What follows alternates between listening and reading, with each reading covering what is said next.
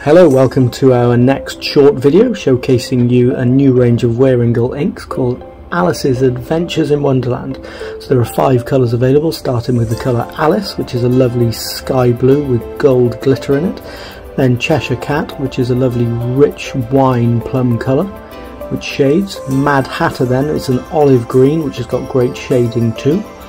Next up is Queen of Hearts, which is a rich oxblood colour with gold glitter and then finally you've got white rabbit which you can see here. So there are the five colours that are available. They're available to buy on our website now